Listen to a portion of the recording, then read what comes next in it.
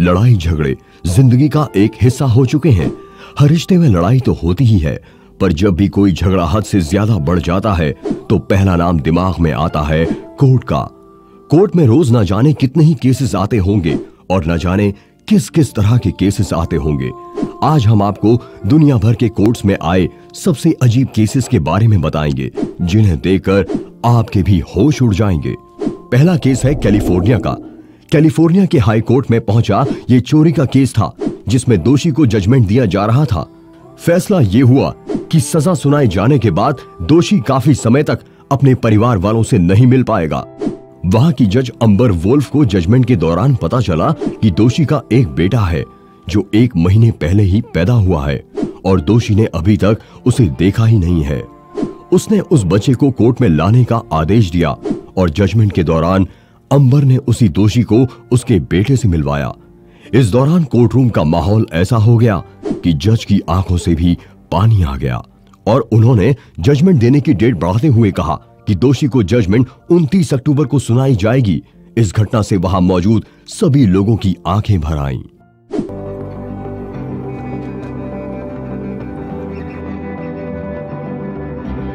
दूसरा केस है अफ्रीका का। अफ्रीका की रहने वाली जिमी पर नो पार्किंग एरिया में कार पार्क करने का आरोप लगाया था, जिसके लिए उन्हें 100 डॉलर्स पे करने थे। वो समय पर 100 डॉलर्स पे नहीं कर पाई, इसलिए उन्हें कोर्ट में बुलाया गया।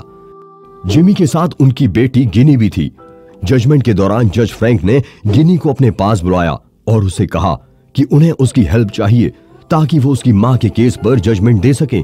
इसके बाद उन्होंने जिमी को एक्सप्लेनेशन देने को कहा।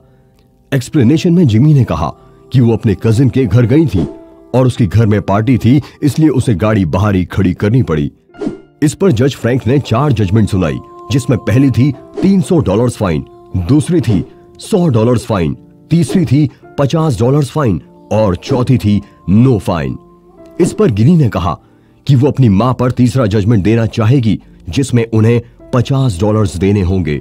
फिर जज ने उसके सामने एक और सिचुएशन रख दी जिसमें उसने कहा कि अगर तुम्हें तुम्हारी माँ ब्रेकफास्ट खरीद कर देगी तो उन पर लगे सभी चार्जेस हटा दिए जाएँगे गिनी ने खुशी खुशी ब्रेकफास्ट वाले ऑप्शन को सेलेक्ट कर दिया और जज ने उसकी माँ पर लगे चार्जेस हटा दिए What's the little girl's name? Janice. Hi, Janine. And that fine is $100. Okay?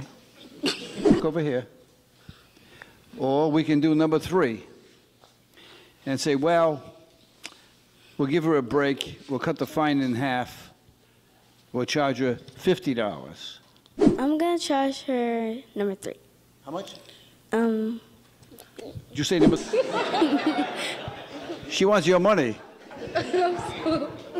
So I'm तीसरा केस भी अफ्रीका का है ये केस भी जज फ्रैंक का ही है फ्रैंक ट्रैफ़िक रूल से रिलेटेड जजमेंट सुनाते हैं।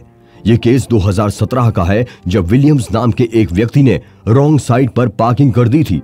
रॉन्ग साइड पार्किंग के लिए उसे फाइन देना था और यही जजमेंट सुनाने उसे कोर्ट बुलाया गया था। वो कोर्ट में अपने बेटे के साथ गया था, जिसका नाम था जैक। जज ने उसे अपने पास बुलाया और कहा कि उन्हें उसकी हेल्प चाहिए, ताकि वो उसके पापा को जजमेंट सुना सके। उन्होंने जैक के सामने तीन ऑप्शंस रखे। जिनमें से एक था नब्बे डॉलर्स फाइन दूसरा था तीस डॉलर्स फाइन और तीसरा था नो फाइन जैक ने बिना वक्त गवाए तीस डॉलर्स फाइन का ऑप्शन सेलेक्ट कर दिया। इसके बाद जज ने उसे पूछा कि उसने ब्रेकफास्ट किया या नहीं, जिस पर जैक ने कहा कि नहीं किया। जज ने जैक को कहा कि अगर उसके पिता उसे खाना खिलाते हैं तो वो उनका फाइन माफ़ कर देंगे, जिस पर जैक ने हामी भर दी और जैक के पिता का fine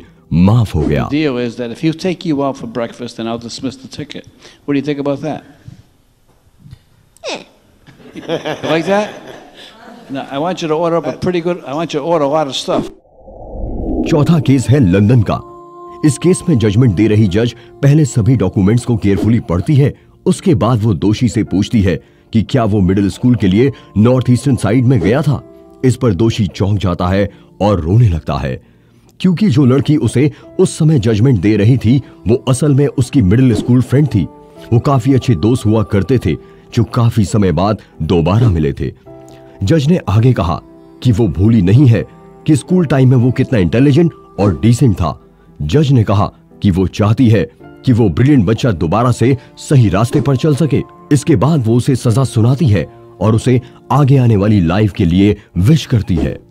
Fif- um, F-15 13303. Okay, Mr. Booth, I have a question for you. I Yes, remember- ma'am. Did you go to Nautilus for middle school? Oh my goodness.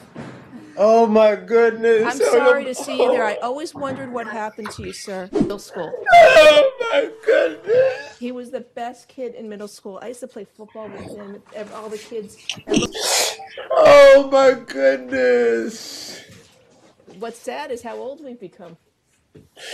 Oh my goodness. Uh, Come out of this okay and just lead a lawful life. पांचवा case है भारत का। ये case इतना अजीब है कि सुनने वालों की हँसी नहीं रुक पाती। ये केस है रायपुर का। रायपुर के रहने वाले एक व्यक्ति ने पचास हज़ार रुपए देकर शादी के लिए एक लड़की खरीदी। लड़की का सौदा करने वाले लोगों ने उसे एक खूबसूरत सी लड़की दिखाई जो उसे पहली नज़र में ही पसंद आ गई।